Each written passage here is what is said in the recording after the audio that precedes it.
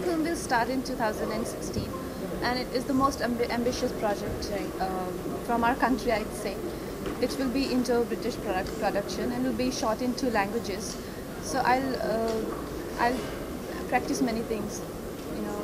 So we'll talk about that later. Kangana Ranaut is looking forward to Ketan Mehta directed biopic on Rani Lakshmi Bai as she feels there are several things she has to get right.